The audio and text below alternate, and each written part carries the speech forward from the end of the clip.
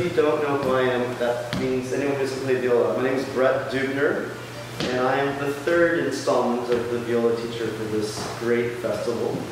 Um, today we have three victims, and they're all going to play different pieces for you, and we're going to just discuss the process, and we're going to discuss what it means to sing, whether it's with the viola or anything else, okay? Uh, so today, first, we're going to have the Walton Viola Concerto.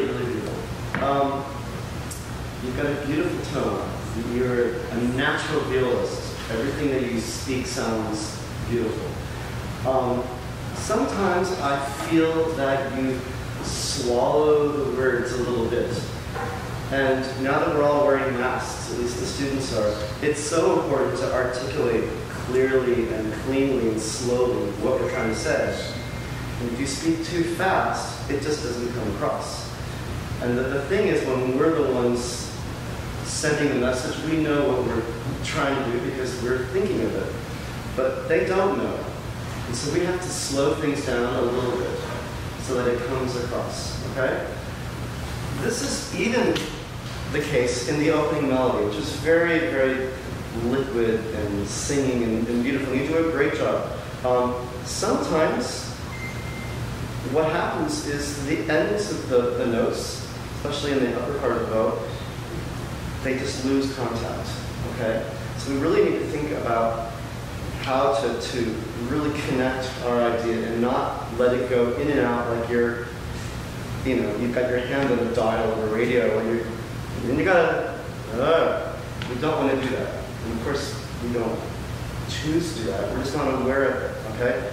So think at the very beginning, I wanna stop you a couple places.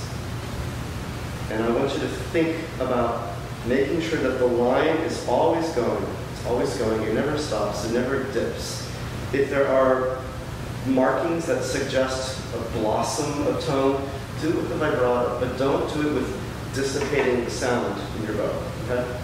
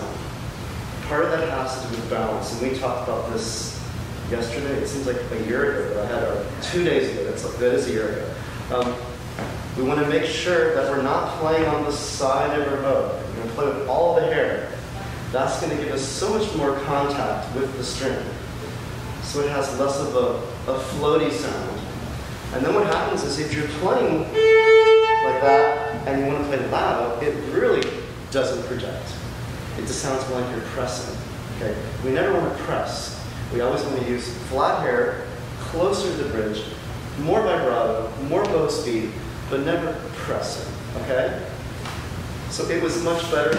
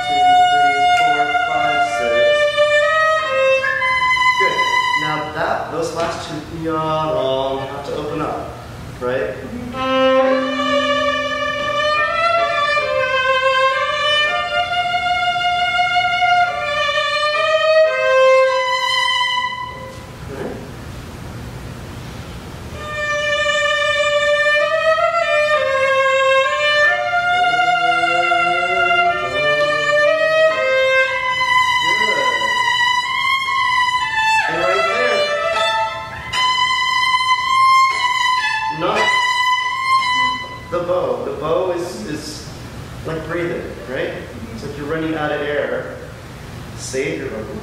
Okay?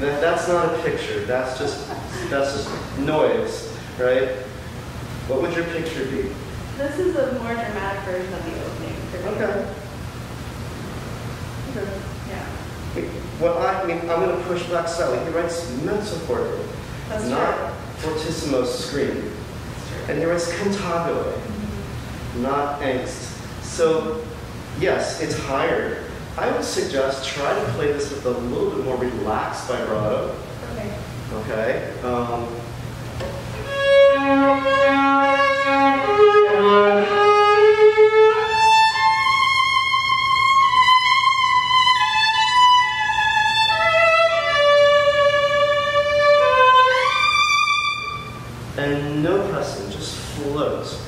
Okay? How about that one measure for two?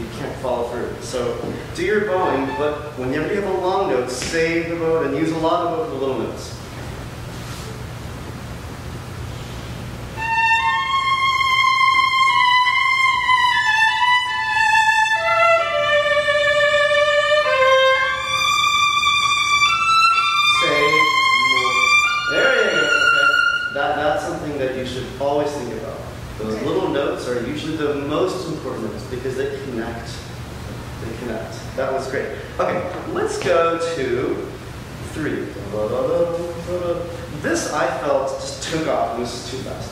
Okay. You know, he doesn't even write on a manga. He writes nothing to suggest a faster tempo. But we, we see all these black notes and they go, oh my God, and start panicking. You know. Okay. It's, it's bizarre when you're driving a car and it's nice and sunny, you're going 50, it's great. Then it starts getting dark and you go 60. And then it starts to snow and you go 70. That, that's, that makes no sense. But in music, we do that. If it gets harder, we actually go faster. It's nuts. Right? So actually slow it down in your mind when it gets harder. Okay? Have it right there on the second, uh, it's the second note. That's not, uh, it should be a little louder. So perfect.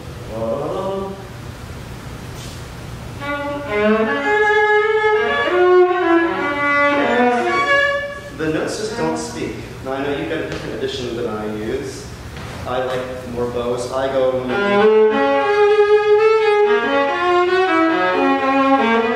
But if you're gonna go.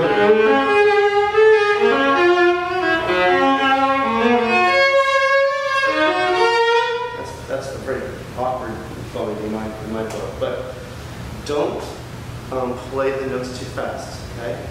Let's just try intentionally under tempo. And a lot of this has to do with dividing your bow correctly.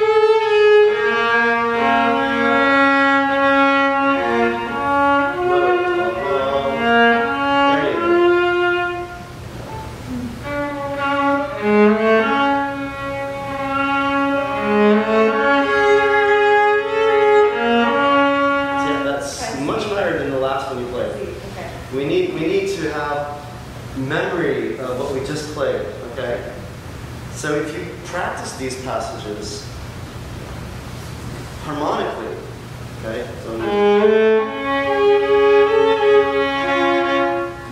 then you're going to temper everything to that C sharp. Your E sharp will not be high, it will be tempered, okay? Try one more time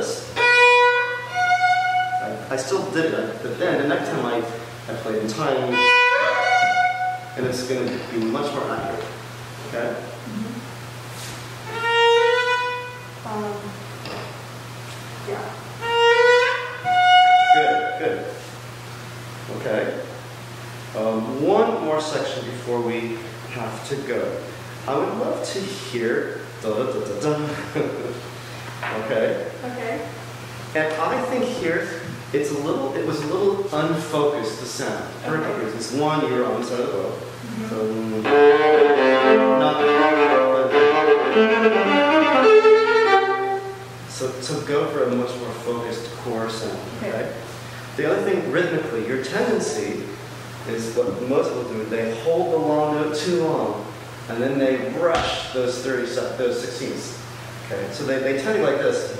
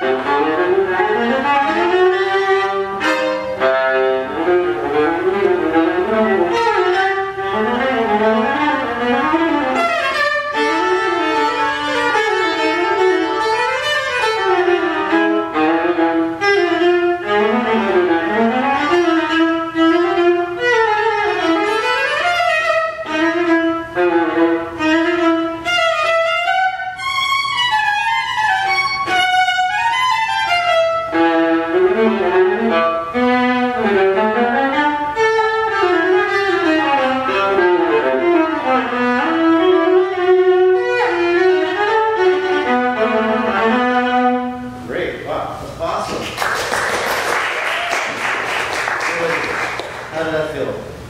All right. All right, good. good. Certainly sound all right to me. Um, we talked a little bit at our lesson about balance with our arm, and I think this is a good space to really put that into to practice. When we want to get more sound and more sound, we have to find a way to do that without curling up and pressing down. And that's true whether you're a violinist, or a violist, cello, it's all the string instruments. You, you need to release the sound, not squash the sound. Okay? So if you're playing, let's say, just a, a D, and you're playing, say, piano,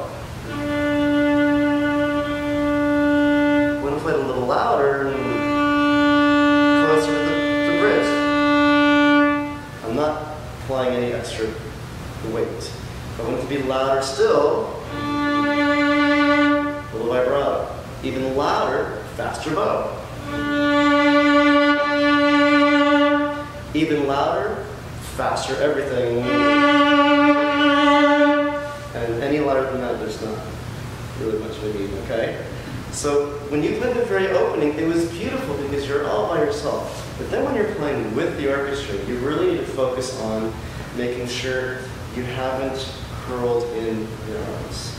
Okay? So can you try right after the um, the precipitato section? Okay, and at this place, you're with the orchestra. A? Yeah. And I want you to think just about making sure your bow arm doesn't curl. You don't bend your wrist, but that you keep the, the hair on the string the whole time, whether you're at the frog or you're at the tip. Don't do that. Don't do that. Just keep it flat the whole time, okay? Good, good. So, first of all, I love your sound. You got a great tone. But one thing you're doing with your bow is you're not thinking about how notes connect. The music goes ah, ah, but you're going ah. So what's happening is you're going, you're just spewing oh, like a like a a, a, a, a lawn sprinkler. You're just, just the, the bow needs to be controlled. We want to make a crescendo or connect to the E flat. We have to use more bow for the, the note beforehand. But if you do this, that's dim, even if you don't want to. So what we have to do is be much more aware of how much bow we're using for each note.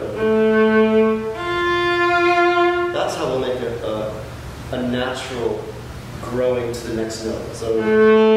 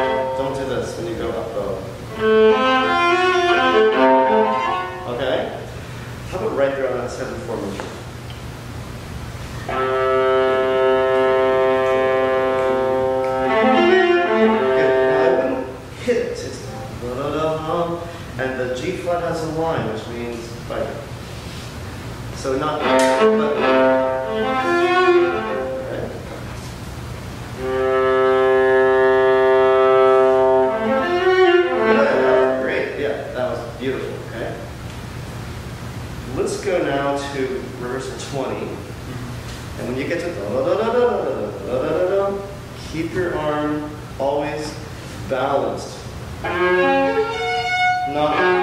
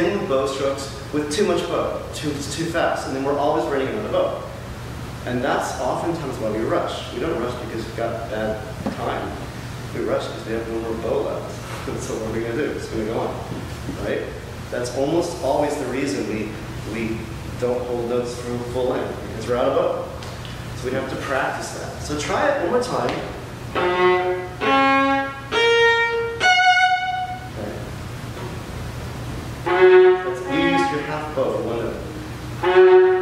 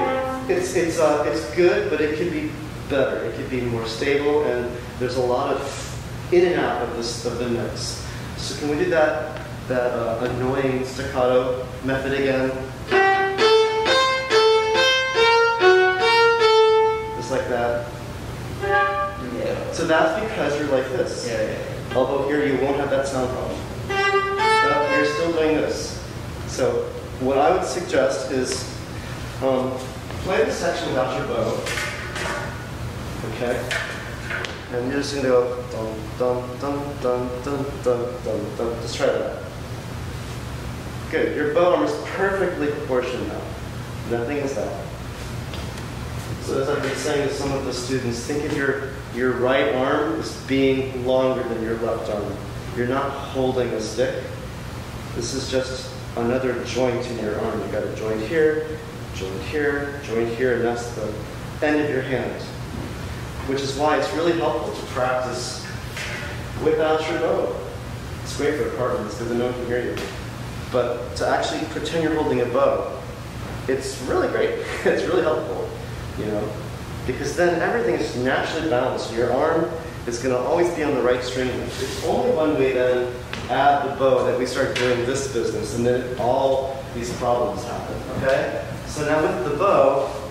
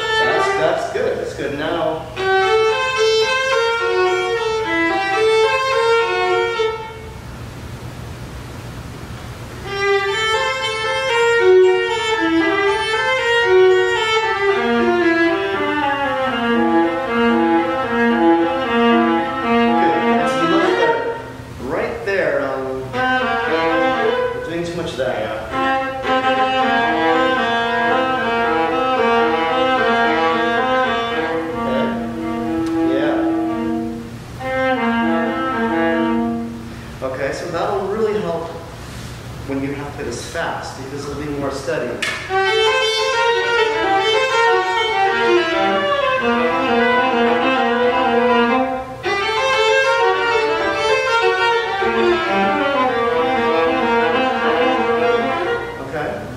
So let's write right there a little bit faster. And then let's go on.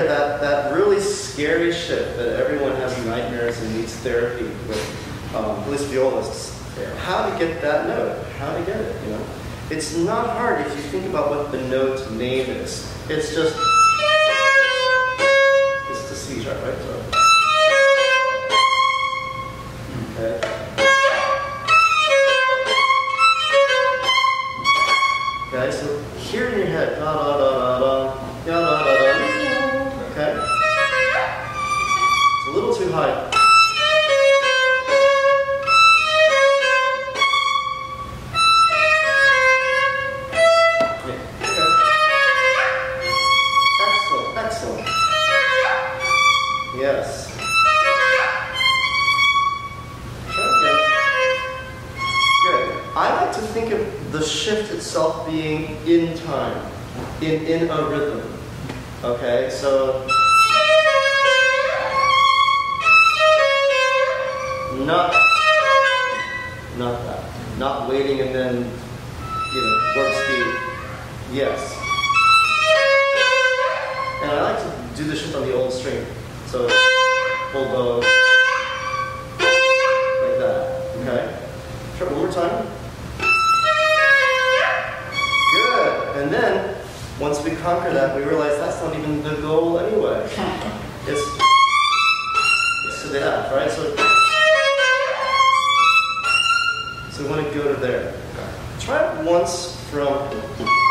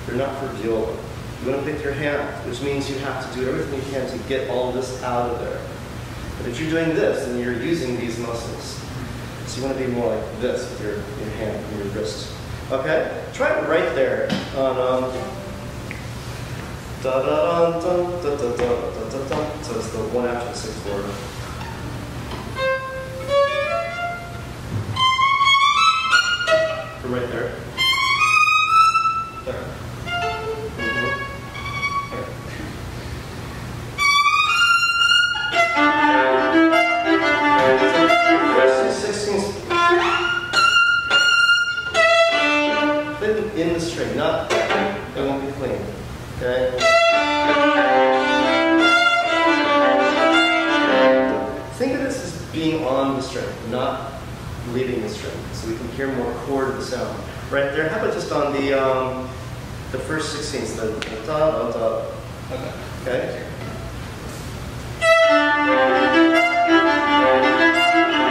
So when you're playing um, the 16ths that are set where you're going, it's not a martelé stroke, it's actually just a détaché. Very often when we're practicing a, a passage that is fast, when we slow it down, we use a completely different unrelated bow stroke in a completely unrelated part of the bow. And it all, all you're doing is you're just you're, you're helping your left hand, but you're not doing anything with the right hand. And the right hand is very much a part of the whole problem. Okay? So when you're playing, let's say, a fast passage, and then you play it slowly, people go, it's. You're not, you're not doing that. So play. Right, that's the stroke. It's just when it's faster, it tends to bounce. Okay? So with this, this is an on the string stroke. You can do it slow, that's not how you're going to play it. Okay? Settle we're right there again, the E natural.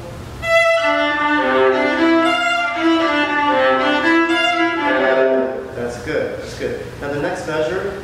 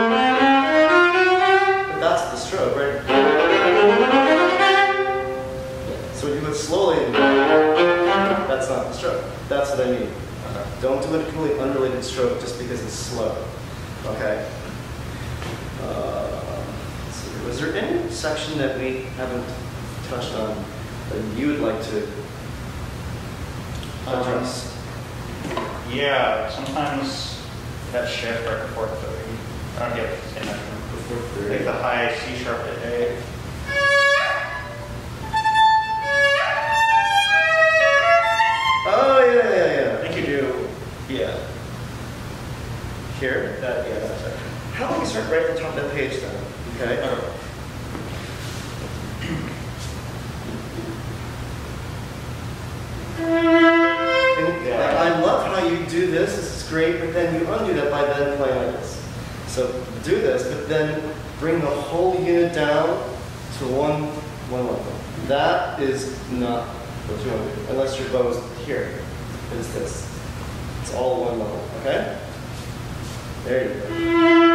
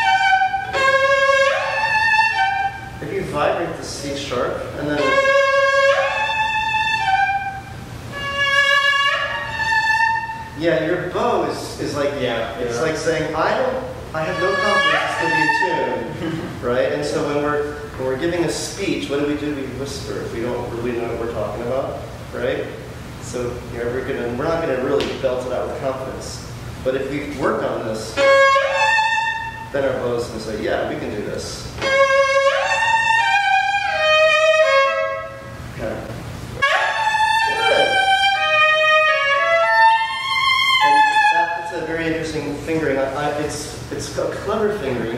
The problem with it is that you're in a very bright sound and then it's very covered. Mm-hmm. And it sounds like for a split some, a second someone put a pillow over your face and you can't hear it. So you have to do all you can to make the, those D string notes sound a little brighter.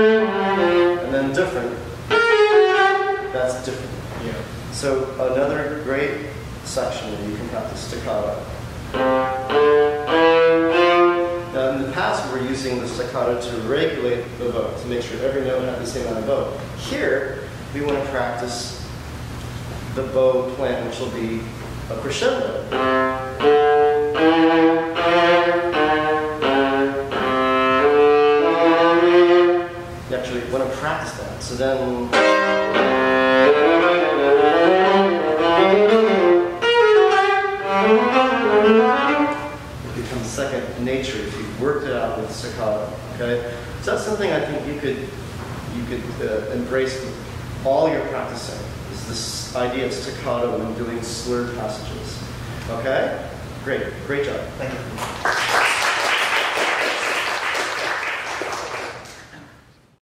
Does anyone have any questions about the things that we've been talking about? Uh, Walton, Bartok, any, anyone at all? Any non-violists here? Question? Or violists? no? Okay. And we're going to play Bach. Fabulous.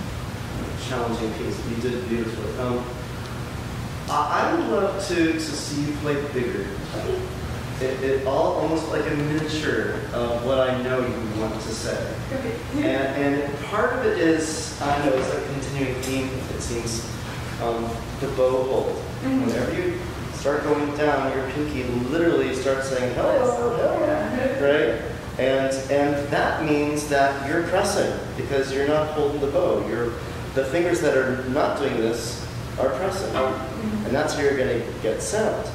Instead, you should hold the bow with all four fingers equally and float. Not that, okay? So when you're playing your, your opening, can you just play it the way you want to do it musically, phrasing, everything, but I want you to focus on one new thing.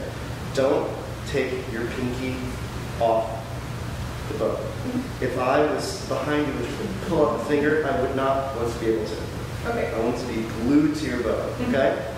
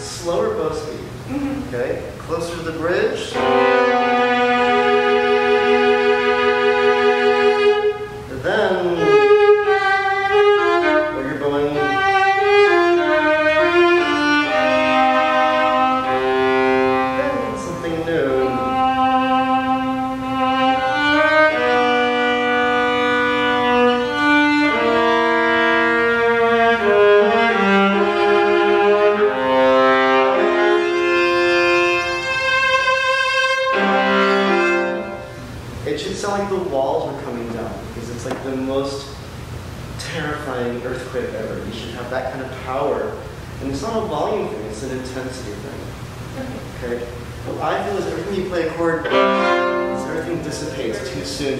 And without squeezing or pressing,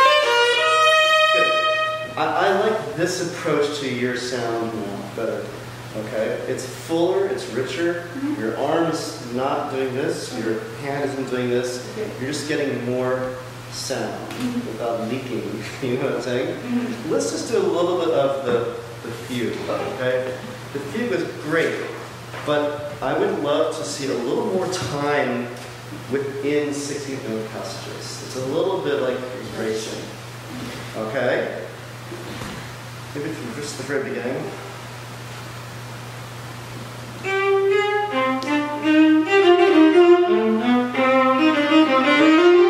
Even if you're going to play that soft, you need more bow. Okay?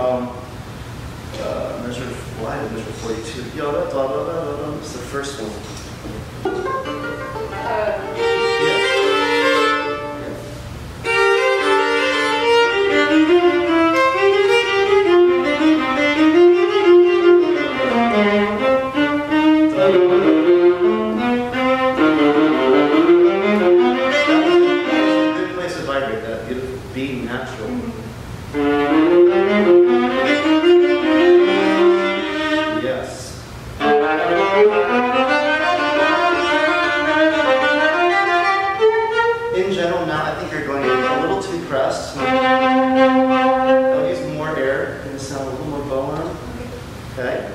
How about right there on the, um, right there on the D?